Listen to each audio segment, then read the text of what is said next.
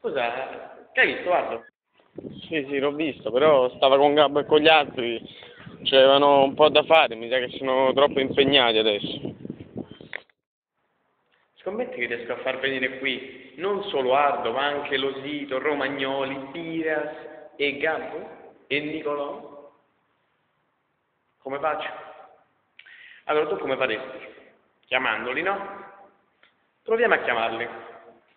Vediamo se ti rispondono. Vediamo se mi rispondono. Ci provo io. Ardo? Niente. Gabbo? Niente. Pira? Niente.